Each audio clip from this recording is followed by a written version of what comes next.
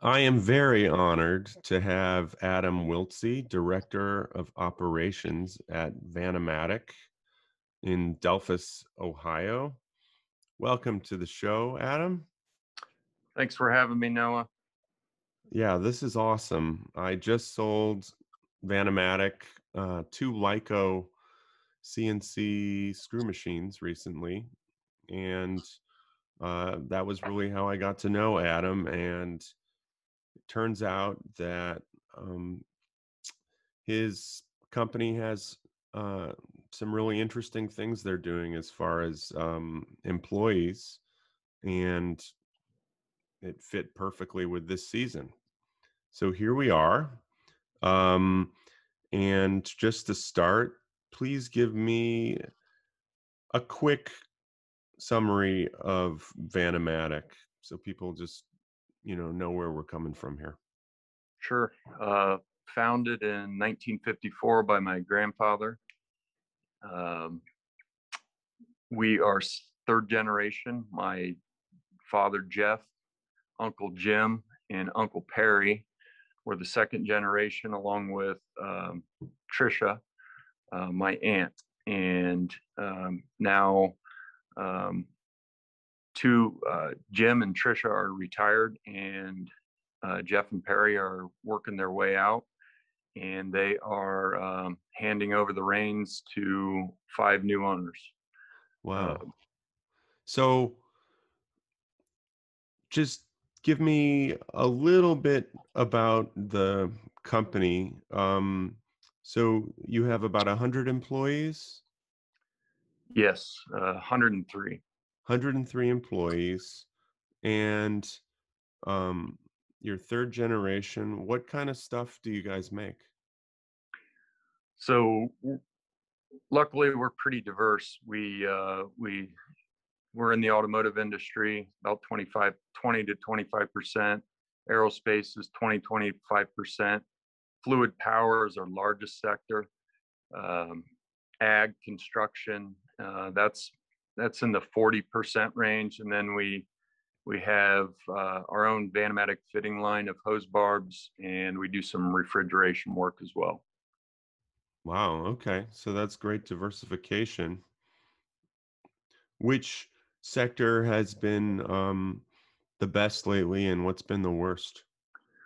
So hydraulics, uh, fluid power, the construction and ag industry has been uh, really good uh, aerospace has fell off the face of the earth for the most part, uh, but they're creeping back. Um, automotive, um, you know, with the chip shortage, uh, we we had three primary screw machines running automotive. We're down to two, uh, but the capacity's starting to uh, fill up there. Okay. And what kind of equipment do you guys have? So we are keeping the majority of our equipment is inch and five eighths VNA, Conomatic screw machines, eight spindles. Uh, uh, and then uh, we also have a couple New Britains, and we now have 10 Licos and two Trofeo, Eurotech Trofeos. Uh, hmm. And then a what's a what's a Trofeo? Is that like a twin spindle, twin turret, or? Yep, uh, main sub, uh, big machine. Big machine. Yep. Um, and for those people who aren't familiar with Conomatics, uh, they're sort of the same ilk as an Acme, um, but uh, how would you describe it? Is, is the tool zone bigger on a Conomatic than an Acme? It is, and uh, they're just built super heavy, and um, we kind of took something that was that was good and kept it alive, and uh, and the machines can push uh, feed rates like no other. Interesting. And how many shops around you think are still using Conomatics? Very few. Uh, we're all in, we're all in a little club together, and there there's not a whole lot left. Mm-hmm. But you have no plans to to phase them out. We just bought four uh, additional Conomatics um, basically, you know, pretty pretty low price scrap value almost, and we Mhm. are rebuilding them. Mm-hmm. Wow. Um, okay. So you're doing high volume work, lots of different sectors. Um, all right. Now give me uh give me your two minute life story. Okay, um, that's tough, but I'll give it a shot. Um, so well, I, if I if I tell people to give me a 10 minute life story, it might turn out to be 20. So two minutes Right. might turn out to be five, and that's acceptable. so I guess I would go off of uh, the major influencers, right? Um, growing up with my mom and dad, uh, they taught me a couple things: uh, work ethic, and you can do everything yourself. Uh, you know, uh, from construction to anything. Um, we didn't look outside very often. Uh, if we were going to build a volleyball court, we got the post hole digger out. We uh, Oh, we're totally different. We were just like, yeah, um, call the neighbor, call the Right. call the professional. so you guys are do it yourselfers. we are do-it-yourselfers, and uh, that you know that was my dad's major influence, and my mom is her work ethic is like no other. Um, she's fantastic, um, and so I grew up with that, and that was a good foundation. Uh, Mhm. Went to college for engineering at University of Dayton, and met my uh, wife Kate, um, and she brought a a wonderful influence of observe and improve. We don't have to settle for the way things are. Uh, Mm, you can make it better. Um, eh, break down some barriers. Look at look at things fresh. Um, it's okay if it's not right. Work on changing it. Um, she, so that's helped with a lot of personal growth. Um, she doesn't work then- in the business, does she? She does not. She's a school teacher. Uh, but she's been she's been with me, uh, you know, the entire career I've had here at Vanamatic, and uh, uh, a tremendous influence on uh, me personally. And you're Uh, you're how old? 42? Is that what you told me? 43, 43. and uh, got three kids: Lucy, Blake, and Clara. 14, 12, and nine. Wow. Uh, yeah. And uh, you know that's the the third major influence for me personally is uh, there's these three kids that Kate and I have, and then they're all so different and unique, and um, kind of helps direct management style a little bit and understanding uh, people are different and unique, and Mhm. there isn't a collective way to do things. You must modify. That is very astute. Uh, so, uh, you know, through college, I, I came directly into Vanamatic uh, in two, 2000. So I've been here 21 years and I started in engineering, started tooling up jobs, got into some machine design. Um, one significant, and, and we'll get into the team, uh, but, and maybe I'll get into the team right now. Sure. So uh, this attitude of, I guess, not having barriers. Uh, I came into the engineering department and it was pretty well vacated. It, it was it was there to build, and Mhm. um, so we were in this upstairs office, and my cousin Dave Ricker, who is now uh, one of the ownership group, um, I say, Dave, I need 3D modeling software. Like this 2D is not going to cut it. And this is in 2001, maybe. And uh, Dave is an IT wizard. Mhm. So at that time, it was fairly easy to uh, uh, acquire software fairly quickly. And uh, Well, you're you're grinning as you say this. Are are you are you saying that that um maybe there was a, a nice like torrent site that you might use or something? possible. It's, it's possible we we hacked some 3D software to evaluate which one. Uh, Yeah, you got to try it out. right. So uh, CATIA and SolidWorks and Solid Edge and and uh, there's one thing about my my dad and my uncles is you bring them an idea and you, you can expect that you're going to hear no. Uh, so um, it must be proven out. So Dave and I worked some magic, and I started designing uh, sheet metal and different items in 3D, and and uh, said, "Look what this look what this software can do." And that sold them. They we bought the software and we've owned it since uh, 2001, and that really kind of opened the door for a lot of our innovation, um, Hmm. which which is all piece of the puzzle. Uh, so uh, Scott comes into the picture next. So he's he's my brother, and uh, so where are you in order of age? so I'm in the middle. Jared's the youngest. Scott's the oldest.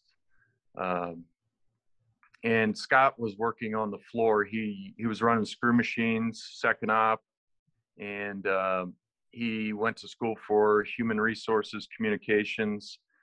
So he came into the company and um, started putting systems together for people Hmm. um, and employees. Um, so uh, Steve Schroeder, he he started out at Vanamatic before we did, and uh, took a little hiatus. Uh, but he started. He was the sole engineer, and um, and he came back to the company, back to the engineering role, and then he has navigated into sales, which uh, if you ask me, you, you can't have a more perfect uh, uh, person in sales with the engineering background. He knows how to Mhm. how we manufacture. He understands cost. Um, So I was, I was. This brings me to a question. Um, I've been. You familiar with um, a guy named David Epstein? He wrote a book called The Sports Gene and Range. and It's all about cross training. It sounds like you guys sort of um, embrace this, at least for your family members. Uh, as far as if you do several different things, it'll come together and help you in some other thing. Um, you you kind of like build muscles in one thing, and that helps in something else. Do you say that's something that you guys think about? Absolutely. Uh, we're gonna we're gonna tap into that. I'm sure um, that's a, a core piece of our entire foundation. Um, one other team member, my my younger brother Jared, uh, he brings to the the team the expertise on uh, uh, screw machine manufacturing and CNC. So it's a perfect blend of the two. Um, okay, I, I wanted to make sure I, I fit that in. Uh, Yeah. So Great. Um, okay, so you have um, 103 employees. You said, yeah. yes, we're at the highest level of employment in company history. Oh, wow. Okay. And right now, business is going very well. And Record pace first half. Um, numbers we've never seen. okay, which is like, you know, some of our other customers are saying similar things. But the other thing we're hearing from everybody is I can't find enough people. This sucks because I have all the work I could ever want in the world, and I can't find the people to um, to do it. So, what are you guys feeling out there? we haven't had that experience, uh, and there's reasons for that. Um, and I can go into that.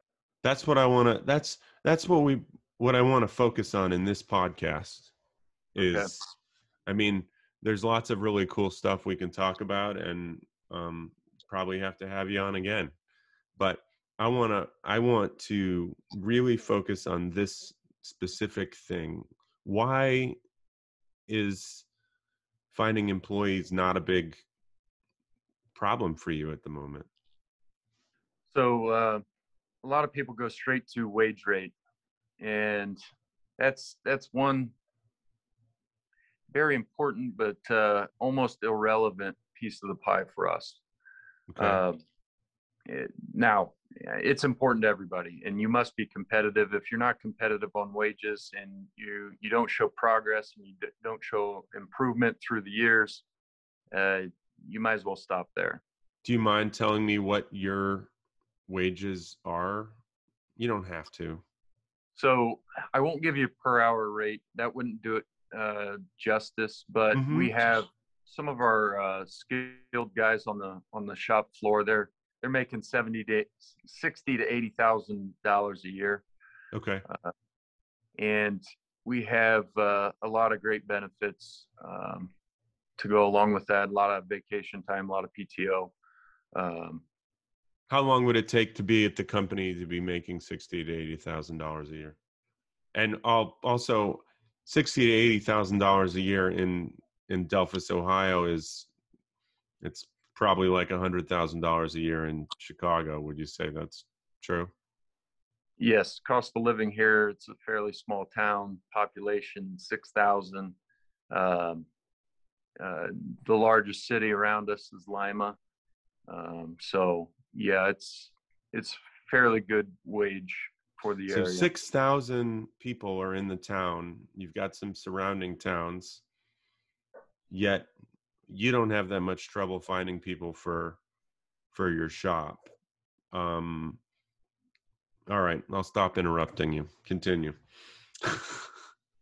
So step number one, you must be competitive on wages. Now, uh, uh, we're there, uh, and everybody wants to make more. You want to make more. I want to make more. There, there isn't, you know, that's that's taken for granted, right? Everybody would like to make more money, hmm but if if a company's competitive, then it's the the other items.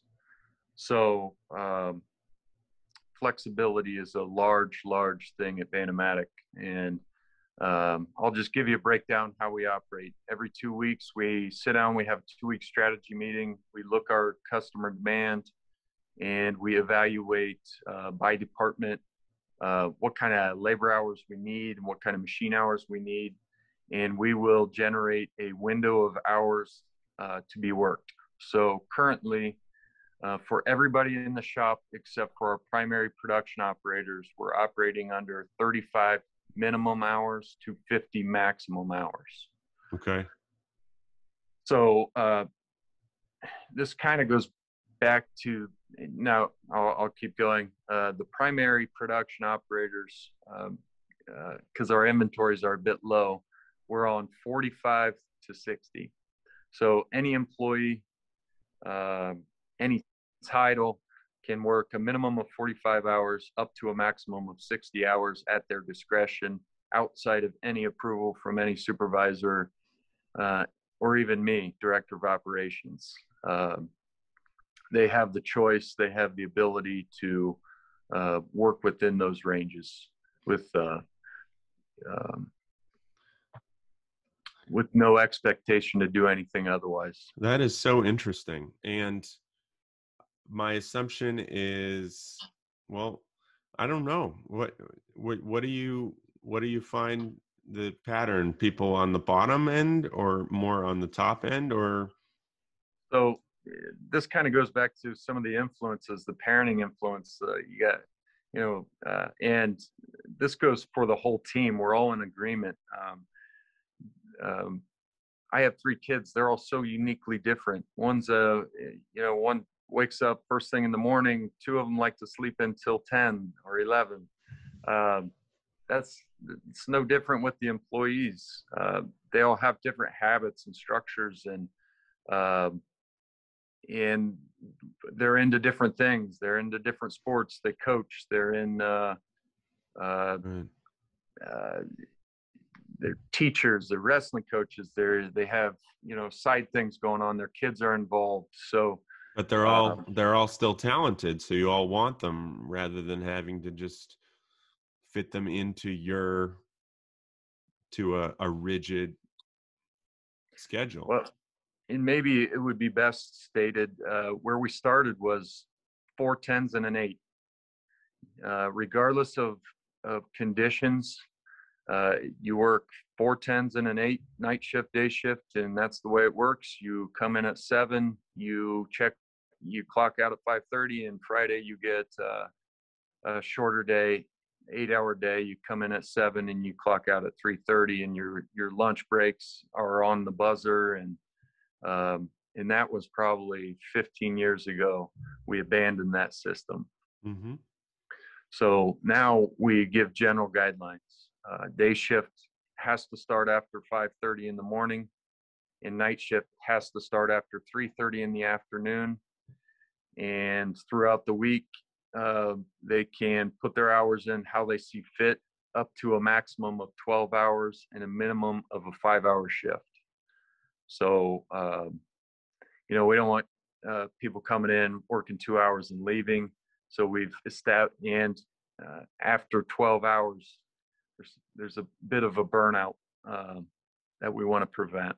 So could you work five hours one day and then ten hours a different day, or is you do you need like kind of the same thing each day?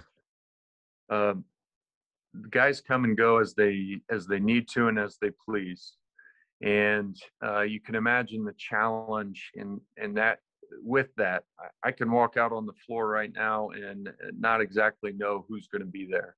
But we don't manage the people they manage themselves we manage the work that needs to get done uh, and we manage the work that needs to get done so well everybody always knows what's going on So do does one employee have to talk to another one and say, "Hey, I'm not going to be here that much today. You're going to have to pick up the slack for me," or do you have enough redundancy that you don't have to worry about that? So uh, there's there's that mutual respect piece and everybody kind of knows how this works. So uh, we start on sunday night at 3.30 it's going to be a skeleton crew uh, it's going to be maybe half a night shift. Uh, monday we're going to have a full day shift all the way through thursday and then friday around 10 or 11 not many people are going to be left. So it's the the start of the week and the end of the week Thursday nights. Uh, you know, it's it's about half the night shift, and people are putting in fewer hours. But through the middle of the week, some guys work ten, some guys work eleven, some guys will work twelves. Um, there's a Don't lot of guys. have- don't you have so much work right now though that if you could if if you could you'd want people to work full days on friday i mean do you or or you're just kind of like this works whatever we're doing just works and the customers can wait So um, that's a big uh, uh, topic. Also, our our customers actually came to us and demanded that we implement uh, a minimum 56 to 60 hours, ah interesting and I told them no. Um, we are playing the long game. We are not going to burn out our employees, and we are uh, we're going to operate with our own values, and um, we are going to prevent turnover of skilled people. And the the cost of not having employees that want to work at your company is is far greater than um, upsetting a customer. Sure and, and you're going to upset them even more if you drive your employees away. Wow. So do you guys have people that come from other shops because they're unhappy with their lifestyle there? Uh, yes we've had several um, and a lot of it comes down to mandated overtime. Sure. Uh, and even with our customers they're they're experiencing 15, 20, th- you know, 25% turnover. Uh, there's employees going to doctors, getting doctor's notes in order to not work the mandatory overtime. Yeah. Right. So you're mandating this extra time and then you're not even getting the full output put out of it and you're making people unhappy. So yeah, that doesn't sound like a very good um, recipe. Uh, but what if you want to grow and get more work? Um, Uh, from 2016 to 2021, we've uh, doubled in in sales and uh, value output. Um, so we are growing. We're growing. You know, we're we're at the highest employment level ever, uh, and we deliver to our customers. We are probably one of the the premier suppliers to our customers, and it's this Vanamatic first mentality that is the greatest benefit for the customer. Uh, interesting. but it's a long-term uh, gain, not a short-term week by week gain. Um, so yeah, it's a it's a much different viewpoint, and uh, you know we've got a lot of tenure with our employees. Uh, average tenures of 15 to 17 years. Um, this brings me some something else that we we had had talked about. Um, so you have a tenure, average tenure. You told me 17 years. Okay, 15, 17 years. However, also you um, you value uh, a lot of employees that are going to come and go, like young people. Maybe they're part time. Maybe you know it, it almost sounded like you know you hear in white collar jobs where people know that they're like a stepping stone. Somebody's going to come there they're going to work two three years and then they're going to go back to business school or go go somewhere else. Um do you guys have something like that as well? Absolutely, we have uh, a large part-time component. 14 of the 103 employees are part-time. what does Um, part-time mean? How many hours is that? They're under the same statutes as everybody else. So 35 to 50 or, uh, you know, 45 to 60 if they're on the primary machines. Um, now, if they're course, part-time though what's the least they could work we're very flexible. If they're, if they're a student at, at one of the local colleges, you know, we'll work with them. They, um, it could be like 10 hours it could be 10, it could be 15, it could be 20. Um, so it, it, there's a large range in what people do. So you're pulling people from local colleges. Um, you you're involved in in high school um, recruitment to some extent. So yes, um, we currently have nine uh, employees from Vantage Career Center, which is a high school uh, career center, and we have uh, four from UNOH, which is a low uh, two-year college in Lima. And um, And Lima is right nearby. yep, 20 minutes away. Okay. So, uh, and these these guys are great, uh, fantastic, and m- many of the uh, the guys from Vantage are full time now, and um, through summer help, we'll pull in. Um, I sit on the robotics advisory board at UNOH, and um, Steve and Scott uh, sit on the uh, precision manufacturing at Vantage. Okay. Board. UNOH is that's higher education, Yes, that's the two-year uh, tech school. and people are pulled from where? Mainly Ohio. Uh, we've we had guys working at from Arizona, Maine, Texas, uh, all over the country. They And they that's come. nearby. Yeah, that's in Lima. People come all the way from Arizona to Lima, Ohio, Oh yeah, because Tennessee. But why? This is just known as a place if you're interested in manufacturing, manufacturing engineering. What are they studying there? Robotics, diesel uh, engines. They have a racing team. Uh, it's a big draw for uh, mechanically minded people. So this is this is just an advantage, uh, a blessing that you have being so close to this place. Correct. It's a luxury in a way. I mean, a lot of people, a lot of shops are, which is so interesting because you're in a town of 6,000 people, and I'm assuming Lima isn't, I mean, it's not huge. So you're in a spot with not a lot of people, yet you are pulling from like a nice concentrated group of people that are interested in what you guys are doing.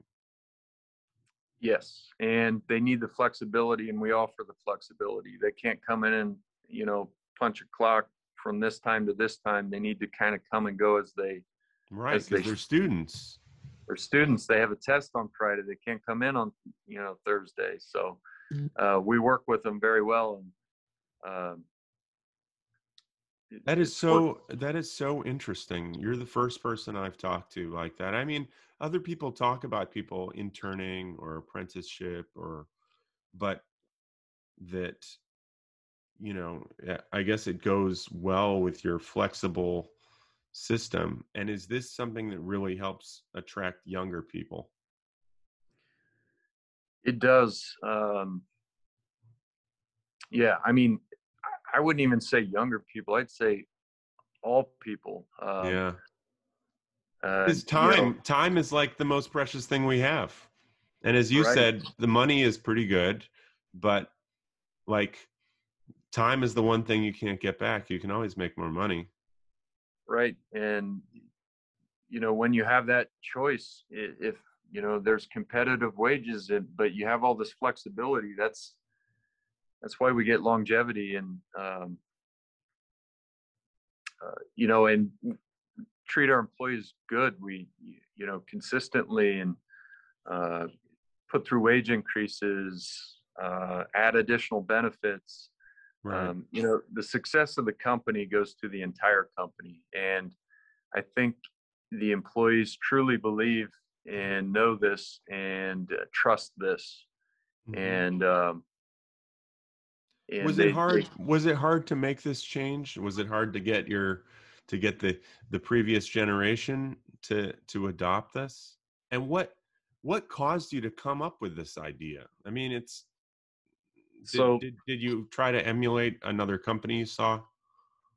So now we're getting to the influence, right? Like we we observe and improve, and and we're observing and um, we're questioning. Like, does it have to be this way?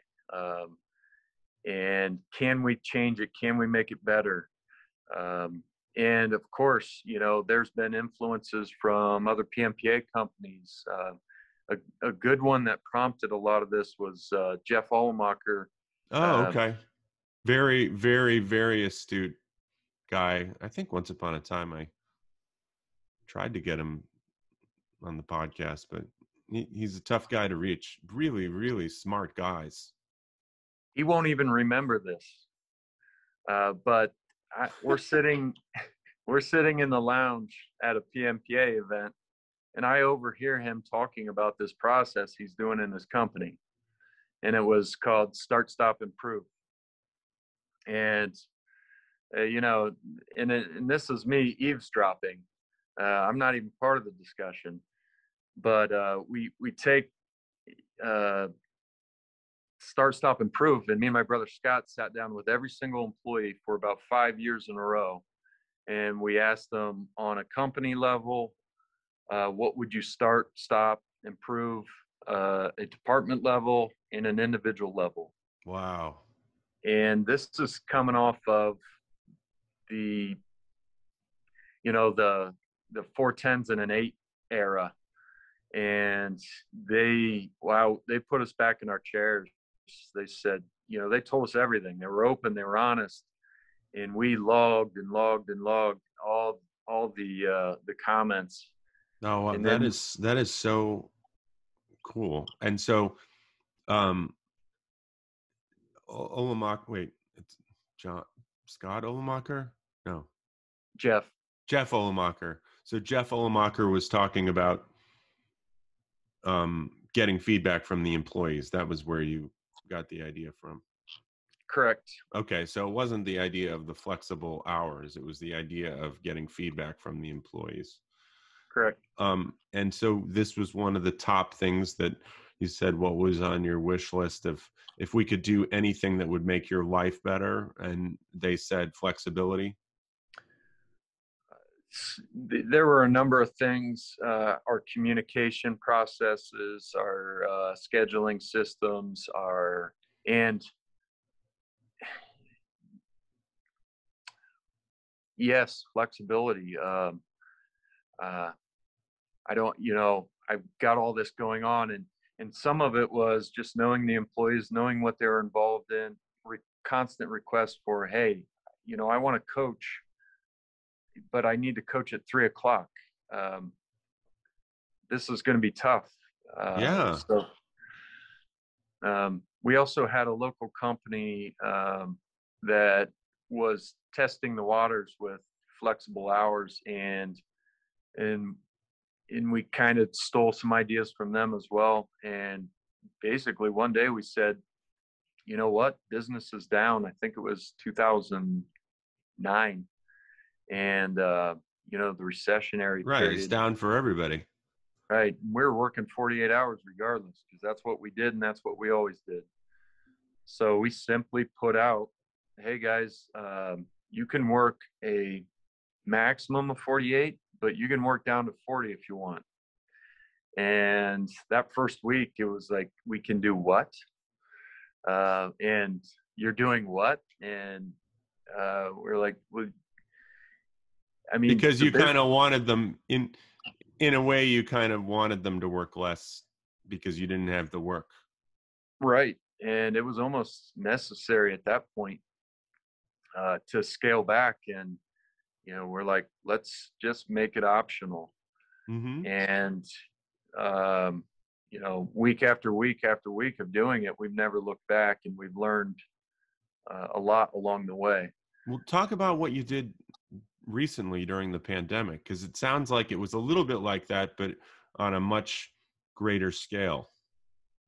Sure. So of course um, at one moment we thought we were going to completely close down um, and then we quickly started getting. Uh, so, what are you talking about? Like maybe April of 2020? Yes. May? Okay.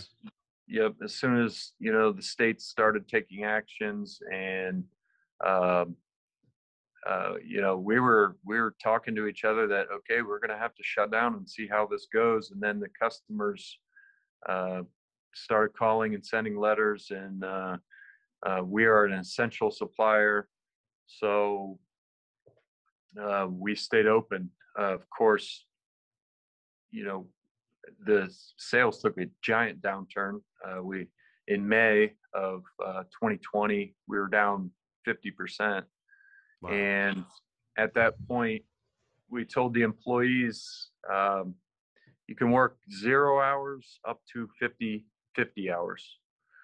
So if you're not comfortable working, don't work and we'll help you sign up for un- unemployment and take the kicker and um, you know it's in their people, interest. you mean you mean if people if people didn't feel comfortable health wise health wise mm-hmm. um, any pre-existing conditions maybe their uh, children were at home they needed right. to watch them yeah correct so completely optional, zero to 50. And uh, for about four weeks, we had probably 30 to 40 percent of our staff that worked. And and you even you even helped you even helped people get the government assistance, correct? Scott, uh, uh, director of human resources, worked with them uh, whenever they needed to, sign, help them sign up, and got them government assistance uh, throughout the whole process. Um, that is so interesting. So you could keep somebody like on the books as your employee, yet they could still get the government assistance. Well, they went on unemployment. Uh, we signed them up and they did not work. Right. So they weren't actually like tied to the company anymore. They were just sort of you kind of had like an informal like agreement, you know, not agreement, but I guess you it sounds like you guys were confident that they would want to come back when it was time. Right. And really it, you know, at the time we did, we had no idea what was going to happen.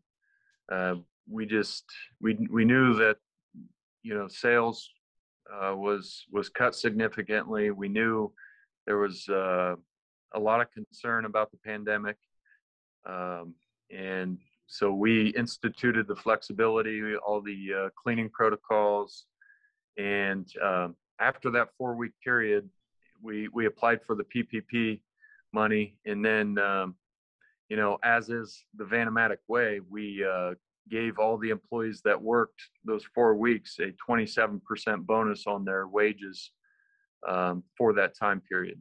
So the people that that stayed got extra incentive. Correct. And then from that point even though on, you didn't even though really would you say at one point you didn't want everybody to stay you you that would have been difficult for you if everybody stayed and you had to give them 27% increase correct uh, we wouldn't have had anything to do uh, there would have been no machines to run because we couldn't afford to uh, build inventory so, so, why would why would all these people um, accept the layoff or accept the decreased hours when they knew if they kept on they could get the 27% increase? And maybe their families were suffering and maybe i don't know. So the it just kind of worked out that way and the, and the 27% was a decision we made later on adam oh, okay. okay.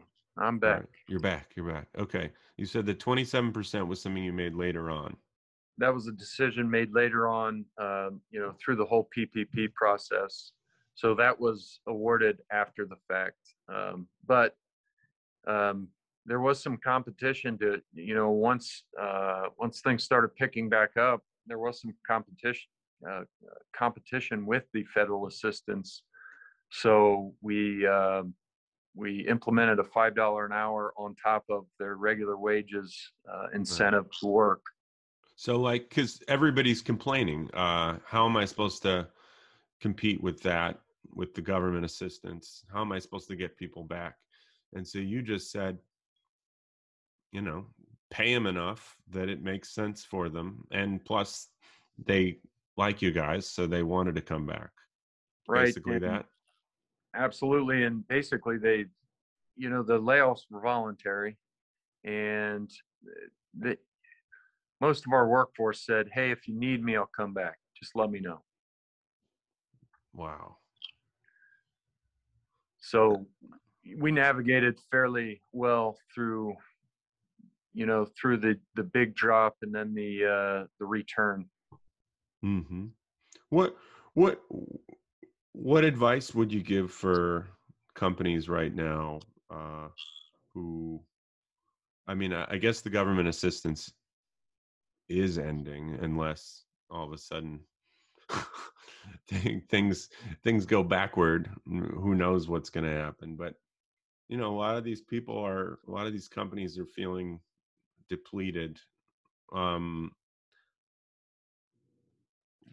is there is there any is there anything they can do that's quick um, make sure their wages are competitive that's like step number one uh, second step is understand that uh, uh, Americans are very individualistic.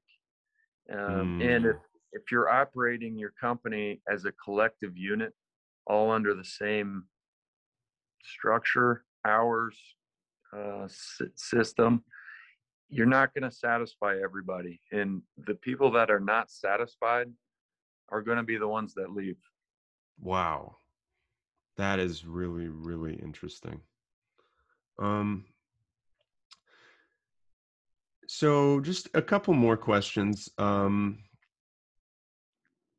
what what uh what was the highlight of this week Oh boy.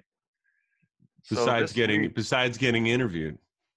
Right. Um, this week was the largest uh, breakdown uh, in our central chip system that the company has ever experienced.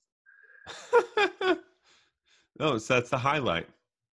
Um, our our uh, our chip system it's a central system, and on Sunday night at 10 p.m. I walked back and uh, look at our reservoir that holds 14,000 gallons of oil, and there was no oil in it. It was in our containment pit.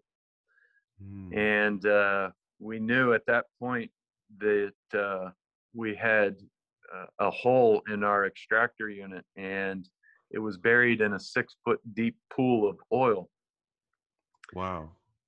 so um, we executed very well to uh, remove the oil find the hole patch the hole fix the hole put everything back together and as of yesterday at 6 p.m we were back to full pr- production So the low light and the highlight. Yes, it, so but the, that's interesting to me because n- n- you're making me think of something like uh, if a company has a central chip system, like you're really screwed if that one goes down versus if you just have chip conveyors on each machine, like it's not a big deal. How, this is the only time in you know we've been in this building since 2003 that we've had this uh, major of a uh, failure, and it was a fluke. Um, a, uh, a a weld broke on a large three-inch piece of angle iron and uh, curled down through our screw conveyor and jammed a hole straight through our extractor base at the lowest level of uh, of our chip system. And um, you're right, there are challenges with the central central systems, but boy, are they net. They are very nice. it's Um, not good. It's not good for resale of machines. It's when you buy a machine and it doesn't have a chip conveyor, it's always a pain in the butt. Just so you know. All of our machines have chip conveyors. Oh, they do. Yes, um, we just uh, we direct the chips from the back of the machines into our chip system. My father uh, designed the building um, in order to be very very efficient for uh, chip handling. So, like on your cones, I mean, this is a total tangent, but is there a, a hole in the bottom of the base of your cones? Nope, we have a Oh. regular regular screw conveyor that directs the chips out the back of the machine. They go through a sheet metal chute that goes either into stainless or carbon, and they travel 240 foot to the back chip processing room, and nobody touches the chips. They uh, they're spun Oh. out and, put in some silos. Trucks come in. so in. it's a combination of like the regular chip conveyors and then those regular chip conveyors push them into the big system. correct. Oh, that's cool. Um, so what's uh, what was something that um, I mean this this is sort of in the same uh, category, but you know what's something you learned um, last week? so uh, you know so we communicate very frequently and very transparently and very openly. So every day uh, around nine in the or yeah around nine in the morning uh, we put out a progress report update for production and just add some notes on what the company's doing. Um, we've built a uh, a Vanamatic business manager that uh, extracts all the information you can imagine out of our ERP system, Henning Industrial Software, which we love. I got to throw that plug in there. Yeah, Uh, no, I, that uh, you mentioned that before. The ERP system is really that's really been helpful. Yes, so we, you know, the interface on top is is another piece of transparency, which is a completely other conversation. But um, that's what we do. We observe and improve. Improve. Uh, that's that's our culture. So uh, we have five items that are going to make us a lot better company coming out of this breakdown. That are going to resolve our issues uh, permanently.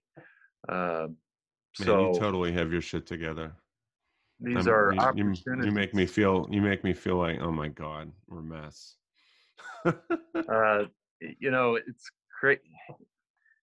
It, Vanamatic stands by unity, empowerment, teamwork, and it's not just the tagline. It's it's the real deal. Um, through this, you know, we have these oil supply lines that feed the machines with oil, and because of our breakdown, the oil main oil pumps uh, picked up a bunch of shavings and they clogged this line.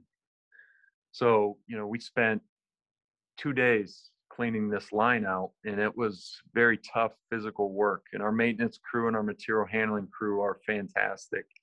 But uh, one of the guys uh, john munoz says we need we need a valve and uh, we need we need to do regular pm on this. And